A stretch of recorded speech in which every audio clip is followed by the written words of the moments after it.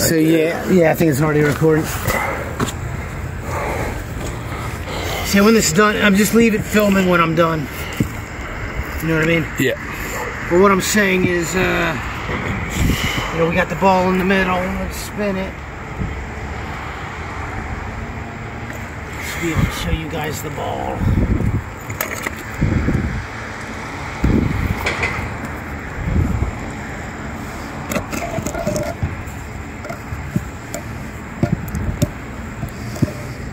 That's it.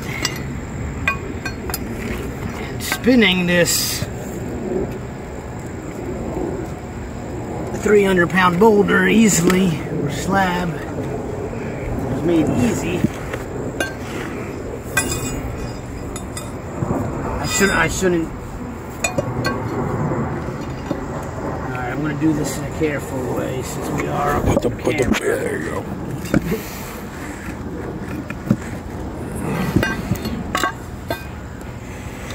that ball.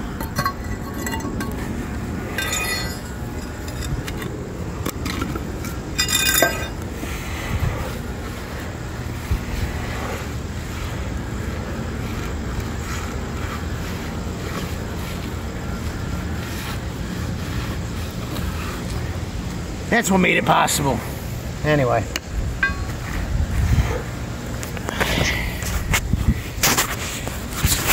I will get a couple photos since uh